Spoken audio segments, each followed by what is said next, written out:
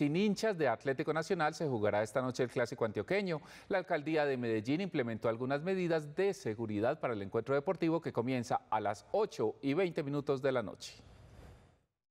Las riñas entre hinchas de Medellín y Nacional en el clásico del 29 de abril de este 2023, que dejaron dos personas asesinadas, motivaron la implementación de medidas de seguridad para el juego de esta noche. Las medidas fueron tomadas el 30 de mayo y ratificadas para el encuentro de este 9 de septiembre.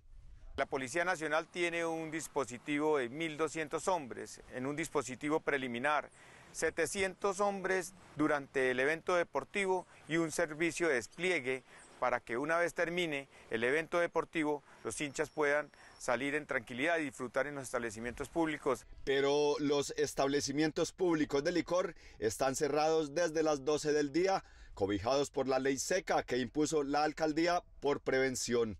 Tendremos la ley seca desde las 12 del mediodía hasta las 24.00 horas, de las 70 a la 76 calle Colombia, por toda la canalización y se extiende hasta el cordón de la carrera 70 hasta la San Juan. Esto afecta de manera contundente y drástica a la economía formal, dejando alrededor de mil personas que dependen de la actividad económica de este sector sin empleo por esta noche y por supuesto patrocinando y promoviendo las economías ilegales. Máxime que no hay una estadística o un argumento sólido, sólido que permita inferir que este tipo de medidas realmente disminuyen el impacto de afectaciones a la convivencia o problemas de, de, violencia o inseguridad. El estadio estará abierto desde las 5 de la tarde. Está permitido entrar banderas con tubos de PVC de hasta 1.80 metros y sombrillas sin punta metálica.